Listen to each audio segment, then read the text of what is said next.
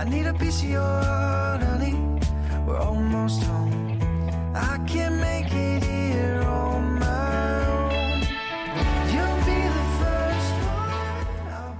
Hello, everybody, and welcome to a special bonus episode of the Spoiler Warning podcast where we are reviewing a little film called Return to Seoul. I am Christopher Schnese, and I'm recording this intro um, before I even sit down to edit this episode. Uh, basically, as you've probably heard from the teases we've been doing on probably the last, like it feels like many, many episodes, um, we actually recorded this several months back, um, and we've kind of just been sitting on it. You know, it kind of fell between some things. Episodes got a little backed up, and we kept just putting it off, putting it off. Missed the VOD release of the film later on, and uh, you know, we've been sitting on it. But uh, I just dropped into the feeds our review of Past Lives, um, and we figured that this is thematically relevant to that film, and we might as well drop this in as a bonus episode now. So I'm recording a new intro. As I mentioned, I'm recording this before I even sit down to edit that episode, so I am just going to completely for- forego any type of continuity at all, and I am just going to drop you in to right before we listen to the trailer for the film, and then let the rest of the episode play out as is. Um, so, uh, yeah, hope you enjoy, and uh, we'll be back soon with uh, more recent films. Later. All right, we're going to take a listen to the trailer for Return to Seoul, which, depending on what parts of the film are covered in the trailer, you're probably going to get a mix of Korean, French, and English. So, uh, enjoy, enjoy the trailer. Tu n'y connais vraiment rien de la Corée Non, rien. How long do you want to stay? I don't know yet, but uh, three nights. I need your passport, please. Mais vous êtes française 프랑스 사람 같진 않은데 아 그게 무슨 상관이야 자 우리 만났으니까 짠해봐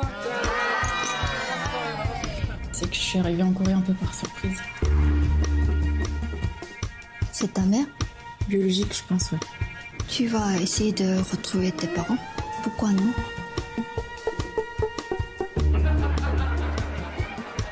Mais je suis française. T'es aussi un peu coréenne. Votre prénom de naissance est Yeon-hee. On pourrait dire euh, docile et joyeuse.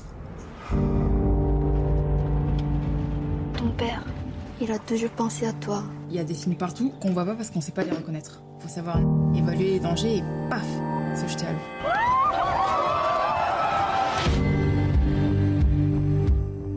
친구분이 굉장히 특이하시네요. Sex, again. You and me. 오케이 What is your job? Missile parayo. La James Bond girl Et je me suis toujours posé la même question le jour de mon anniversaire. Est-ce que ma mère a une pensée pour moi 널 위해서 어떻게 하는 게 제일 좋은 건가 고민하다가 Plus savoir ne pas regarder derrière soi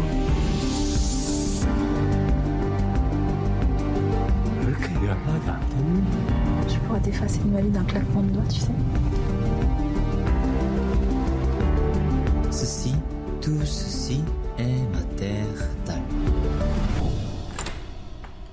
Votre mère est arrivée.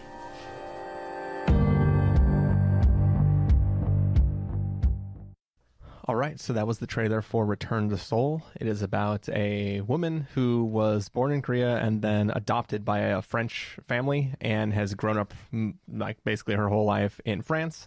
And due to, I guess, uh, some travel uh, issues, she ends up making her way back to Seoul. And uh, while she's there, she's like, I guess maybe I should try to check in on these whole birth parents thing. And it's sort of about the journey she goes on trying to find and reconnect with uh, the family that uh, she never knew. Stephen Miller, what did you think of Return to Seoul? So going in, I thought I knew what this movie was going to be. I, I figured it would be a kind of. I'm not even going to name the touch points because Carson's going to make fun of me if I reference that Sofia Coppola movie one more time. But I, I thought this was going to be the sort of movie that is like soaking in a place, have very emotional moments that she, the main character, tries to figure out how she fits in, how does she belong, looking for this thing from her past. I, I thought I knew the emotional things the movie was going to do, the way it was going to make me cry. And the truth is, this made me cry far less and think far more than I was expecting it to as a movie. Um, this film, it is so the character of Freddie. Uh, the character at the center, played by Jimin Park, who has never been in a film before. She was basically found by the director, and this is her first Are starring you role my dad? she she is so the character is has a chaotic energy the character doesn't want to dwell too deeply on the pain that she has whatever lingering feelings she has about being adopted so instead she will steer aggressively into any kind of distraction she can and it's like the whole movie embodies her personality. There, there is a scene very early in the movie where she's having a conversation, and we think we are in the purely emotional uh, young woman meeting her biological parents movie, and she's having conversations with these two people who are kind enough to take her out to dinner and drinks. And she's talking, and the subject of adoption comes up. And in that moment, rather than answer their question, she suddenly has this kind of glint in her eye and is like, have you ever heard of sight reading? Let's go. And the whole tone of the movie just like shifts with her. like the the movie is sight reading. The movie is doing this thing where they're like, we don't know what is going to happen next, but we are just going to follow whatever this person would do. And I thought it was a wonderful movie that was also very prickly and challenging, which is why I texted you immediately after and said there is a 60% chance you will not like this movie. um, we'll, we'll find out if you did or not, but because this is not the. I don't want to say straightforward because I'm not saying like people need a straightforward movie, but this movie is intentionally like the character Freddie, holding you at arm's length for a while, not letting you get inside the deep sadness that she feels. It is saying, "Hey, look over there at this shiny object," and like swerving around. Um, and the character of Freddie is nothing like me. You know, a part of this movie is about a culture shock, specifically about a woman who grew up in France, which is very, you know, liberated kind of. There, there's this feeling of we can do what we want when we want. We don't need to be bogged down by customs or traditions. And then being thrust into Korea specifically to people in Korea who have a very kind of conservative outlook, a very traditional outlook of like, this is the path that is laid out for you. This is how you should behave. This is what is expected of you in romantic lives. And she is pushing back against it so much. She is impulsive.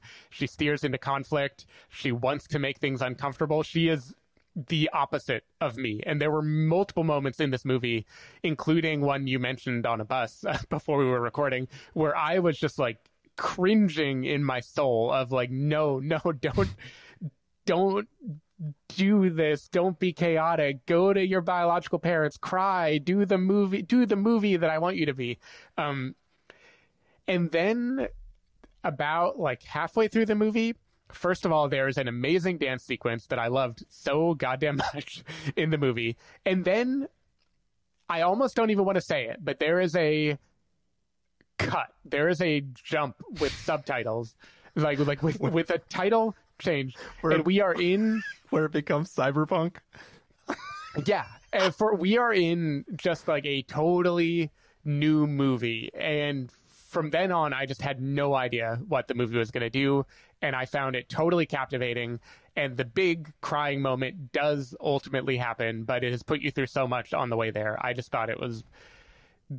This was just a really interesting, inventive, energetic movie, and I was totally into it. And the old people around me hated it. nice. Yeah, that seems seems about accurate. so as an old no. so you know, as you said, you would text me because you saw it while I was watching. While I was getting boxed around in my 4DX chair, you were sitting in a little an old theater watching uh, this film with old people, and uh, you texted me, and as you, as you said, you said there's a 60% chance that you won't like this film, and I think that it's probably safe to say there's an 80% chance that I liked 60% of this movie. um I think that that dance sequence that you talked about, that's the hard cut for where I fell off this film. I think it wasn't like I said, eighty percent. I was there up until the cut after that dance sequence. Um, I think you know part of the, part of the problem is hundred percent. I mean, all of the problem is hundred percent me, but part of it is just that, and we've talked about this in the past in in lots of other films that deal with like adoption. That you know, and like I, you know, I'll you know I'll cop to this now. Like I grew I, I was not adopted. I don't know what it feels like to be adopted, to, to have your life change when you find this out, depending on what age you are when you find it out. But to me, in my head, just analytically, the people that raise you are your family, and it doesn't matter if you were mm-hmm. born to somebody else. That doesn't change the fact that your family is the family that raised you. And like, I, I kind of have this weird tie to like the people. Like, if I suddenly found out that my parents were not my parents, I don't think it would change my relationship to them. It would it, it would just be like a thing that I learned, but it would be like, well, I don't know who those other people are, so I don't understand the drive to just to want to find my birth parents because I haven't lived that experience, um, and my brain thinks about it too much, and I don't know how to feel it because I'm too busy like un- trying to understand why it should matter to me. And like so i i I, I I get hung up on that a lot so it, so that's one barrier for me to enter this film. Um the other barrier i think that prevent i mean besides like if you had on your bingo card the job that she has after the hard cut like I, I you know tell me what next week's lotto numbers are because you are psychic or something, right? Like, it, like, it, yeah, like this film has these two different like time jumps and cuts that like felt very, very strange to me, and I had a hard time just sticking with the story after that. But ultimately, for me, I, I'm going to do a like. My, one of my one of my modes on this podcast is to make wild comparisons to films that have nothing to do with the content we're talking about. But I'll try to make this stretch so that you can explain the way I'm analyzing it. Um, a while back, we went to a festival and uh, we saw a little film, uh, a little Sc- Scottish film about um, people that live in a town where a lot of suicides were taking place. And hmm. one of the things, the reason why that film didn't connect with me is it felt like that was a story reverse engineered from a fact about this town in Scotland where a lot of youth commit suicide. And it was a story that was sort of built to try to live in the world where that is a true fact and then go from there. This film feels a lot to me. And I know that like it's not going to hit everybody this way, but it feels a lot like there is this true fact that over the course of these many different years, a lot of children were adopted and taken out of Korea, and that somebody wanted to tell a story about what it might be like to be one of those people who were adopted and taken away. But for me, this character, Freddie, never, I never thought that this was a story that was truly about identity. Like, she didn't want to be Korean. She never missed being Korean. She didn't care about being Korean. She just on her birthday every year would wonder if her mom ever thinks about her, her, her birth mom. Mhm. And to me, there was a disconnect between the journey she is saying she is going on and what it actually means to her. Um, and I, I, it- for me, there was just some sort of disconnect that that made me wonder what the story was about because it felt less about identity and belonging and more about this one thing that's been nagging in the back of my head my entire life, right? Which, which to me, maybe those are the same thing, mm. but for me, it felt like a a idea about what happens when you take somebody away from their home and they grow up they grow up as a you know foreigner and don't know what what like you know what it was like to be with the family that they could have grown up with and instead it was just about this wild girl um you know this film on, on some level this film could be called uh, the, the worst daughter in the world right like it, it's I was waiting for when the worst person in the world comparison would come up because it it honestly feels kind of ripe for this Yeah. movie, even though I can't explain why. Yeah, and, it, and it's like when when she's just starting out, I liked her chaos. I it, it felt like a little bit like Mistress America. No, uh, no, Frances Yeah. Ha. Frances Ha. Sorry.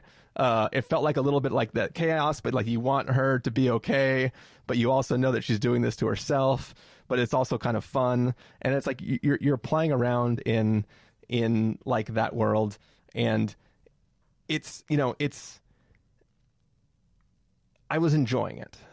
But there is a point where she actually is able to get in touch with some people from, you know, some of her, a parental type person Right. is made contact with. And the way she reacts to that kind of just made me stop being sympathetic towards the character. And it's kind of hmm. like if if you if you go out of your way to achieve something and it's not everything that you thought it would be, you have made that you've you've done the connecting there, right? Like that that's kind of like a it's like a thing where it is a very disruptive act to show up in somebody's life and be like, "Hey, I'm the daughter you gave up. Hang out with me." Yeah. And then if you don't think they're that cool, you did that. You need to deal with it. You can't just be the chaotic energy that you are. Like this character actively uh I don't know, I, I just found them it they they lost my sympathy with the way they were behaving and the way they were acting and then the way their life ebbs and flows from that sort of decision of who they want to be then and it's like a lot of stuff gets added and thrown into this story of this character but all of that as weird as it is is really just her stalling for years at a time so she can send three letters. You know what i mean? Hmm. And it, it just feels like it, it becomes this weird thing where it's like did you really have to invent that sort of story for this character as just the her stalling so that she can try to contact a person again? And it, it just felt like i i just fell out of whatever i was feeling that vibed with the film at the beginning because of the journey it was trying to take me on See, th- this is interesting because it's making me think more about what I think. First of all, I don't think the film is a message film. So, say me talking about what the message of the film is is take it with a grain of salt because I think this movie is intentionally kind of prickly and doesn't want to be uh, saying one thing. Yeah. But if I could pick a thing that it's saying, you know, you talk about identity and belonging, and in general, what does it mean to be adopted? Like you and I haven't lived that life. I, on paper, I can understand the kind of trauma, or at least the like the things that you might feel as you grow up that you have to unpack that you don't really have a name for. But again, I can't analytically understand it, and I think the movie is saying Freddie doesn't know what it means to her either. Like she also doesn't know if this is just a a random fact of her life that doesn't matter, but she's just curious, or if this is a deep seated thing that means a lot to her. She can't decide which it is. And the movie kind of toggles between that too. Like the the whole movie is kind of wrestling with how important is this? Like who are these people to me? What what is this doing? And I honestly don't know if my read on the movie is that having been given up for adoption was a root cause of a lot of the. I'll, I'll say later in the movie, it is easier to call her self destructive rather than just chaotic. And you could say that that is a root cause, that that's some like psychological link, but it could also be that she is a young person living her life going into an existential crisis and this is the thing she projects it onto. Like this is the hope that she brings is this will explain who i am in the world. Yeah. Um and i think the movie from the moment of us not actually knowing if her story of how she got to seoul is her lying to her adopted parents or actually true the movie can't quite tell what this all means to her. And if I'm giving what might be a kind of like paternalistic read of the movie, I think the time jumps are the movie saying that life is messy and complicated, and maybe you weren't ready to accept things at the time that you thought you wanted to accept them. Maybe when you were 25 and you thought you needed this answer, you actually couldn't have handled the answer and you wouldn't know how to deal with it and you would have fucked it up. But it's okay because life is long and you're going to get more and more bites of the apple and we are going to watch her kind of go through all of this until she is finally at an emotional place where maybe she is ready to receive the receive the emotional meaning of connecting with her family even if there's no verbal answer that it gives her and to me, that was kind of like Frances Ha that you mentioned.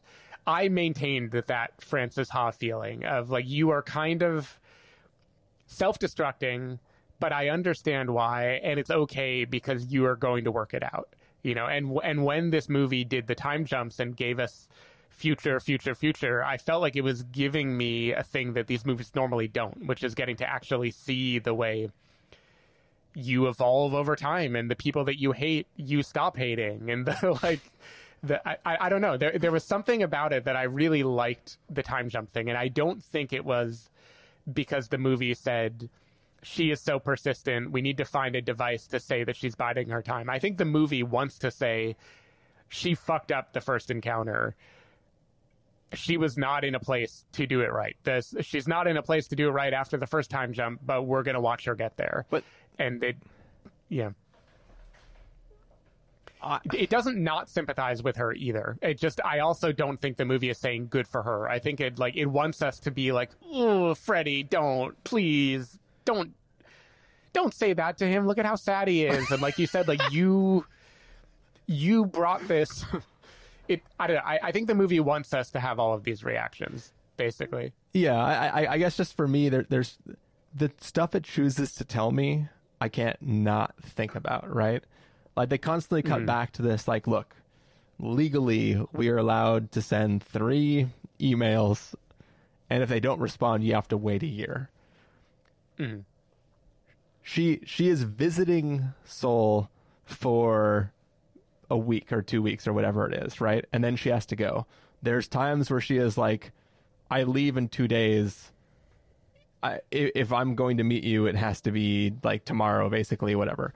Um, then she goes and has this whole life, but she's currently living in Seoul, so she never went back to France. How long she been there? She's been there for two years. Uh, there are lines that reference six emails, so it's like it feels like she. Which, which the weird thing too is, I mean, I guess she, if somebody ever responds to the email, she has to be able to immediately meet them. Um, but she just uprooted like the this is a character who constantly says I am not Korean, I'm French. I like it that way or whatever, right? Um so she just completely uprooted her life and became a she, she became Lord of War. You are missing one time jump. but well, I yeah, I guess the first time jump is where she meets the guy who mm-hmm. makes her Lord of War. I, I I can't tell you like the the backflips that my brain started doing when I was like, are they are they speaking in euphemism? This is his actual job. I was like, what the hell am I watching right now? It was it was so it was it was very it was a very very strange experience I had I, I loved how far it went, but I, it's certainly that was not realism. I don't I don't know what it was, but it whatever it was, I was totally on the wavelength. And when it becomes a kind of cyberpunk movie for a little while, I was I was rolling with it hard. yeah. What, what- what's so funny is like about it. that that first time jump is like the poster for this film, right? Like that is like the Mhm. shot of her looking back over her shoulder. I had com- I had completely forgot that look until I was like, oh, it's the poster shot. I'm like, what is what is happening right now? Like, right. because it feels like because the time jumps are not it, it's funny how i was being coy about time jump and now we're like just full on going to talk about it but it's fine. Um, the the first time jump if my memory serves comes like more than halfway through the movie. So like the movie does feel for a while like it is going to be sort of the farewell or something right? Like we this is going to be about you connecting with family in a place that you you see as you don't see it as your identity, but you know you are connected to it and you're not sure the outline of that. And it felt like it was going to be this very straightforward story. And then when that happens, I'm like, oh, yeah, that was the poster. This is not the movie I was watching. Yeah. And I, I just kind of love how it gives us two or three different movies in one that track the different parts of her life. And maybe this is why the worst person in the world does come up in my mind too, because this is kind of like we are showing you a sort of coming of age story in all the different genres that the main character wants to play in for the different ways that she came of age. I don't know. I I liked it. I also think the original name that it had a Cannes is just really great, and I wish they kept it. Which is all the people I'll never be, which I think is is the vibe of the movie. Is she's exploring all the different outfits she could wear, like all the different personalities that she could grow up into in her mid 30s, 40s, however we define grow up. It, in my definition, I haven't grown up yet, so Yeah. we'll see. And you you referenced uh, without naming it, I think the party's just beginning before. Yeah, yeah, yeah. Um, and that is another one where I think that is actually a really great comparison point because that is also a movie about existential dread and feeling like your life doesn't add up to anything and how what kind of self-destructive acts might you do in that situation? And uh, like I believe you talk about her uprooting her life. What did she do that for? But there are things sprinkled throughout even the first part of this movie where her fam her mom is like is that really why you left? Like she's hinting like you might have been in trouble. There might have been things that weren't going well. Like it we get the sense that this is a person that she just does things on a whim and is looking for a purpose in life. And i kind of believe that she's the kind of person who is on a one week trip who will then stay for two years. Yeah. um that that kind of seems like where she is in life right now and what she will do. And she will tell herself it has absolutely nothing to do with her biological parents. And yet all it takes is a couple nights having a few too many drinks and feeling a little weepy and you decide to have the telegram get sent again. And i think it's a movie that is leaving out a lot of those in between times but i see it as like karen gillan in the party's just beginning like a person who doesn't know what to live for and they think they want self-destructive and then it it lets us see what comes after self-destructive in a way that worked worked for me. I don't know what the very ending means, by the way, but I, I enjoyed it anyway. I mean, I, I definitely think it's supposed to be a question for you, the watcher. Like, right? Is Right. is whatever conversation is about to co- happen Mm-hmm. the answer to everything, or is it Mm. just another dead end or whatever? Um, Yeah. but what? Yeah. what And then an allusion to the the sight reading thing that she does at the beginning. So it, I I haven't figured out what the metaphor means there exactly, but I I still had a kind of ICU movie moment. she she's not a musician, right? like, I don't know. like the sight reading thing was like a She's line. certainly not a pianist. Yeah, yeah. Like it, it was like a line that you'd hear in like Tar or something, right? But like I, I was like, you're not Mm-hmm. you're not about to drop this like sight reading uh, like analogy and then never allude to the fact that you play even an instrument at all. like it, she might as well start that sentence with, "I've heard about this thing that people call sight reading. I like the idea." I think it. in the movie she was a musician, but we don't know anything anything about it. yeah, we know she's a dancer. I will say in maybe it was my imagination, but in the final bit, I even though it's the final shot, I feel like it's not a spoiler because how could you spoil this movie? Um, she's playing piano in the final shot, and she is sight reading, and it starts with the kind of shaky thing that I would probably do if I were sight reading, and then I swear by like a minute in, she's playing with multiple hands, and it feels way more confident, and I think the movie is kind of saying like she like gets the rhythm and then takes over whatever she's doing. So I think she could actually be a great musician in the movie. she's just shaky at first.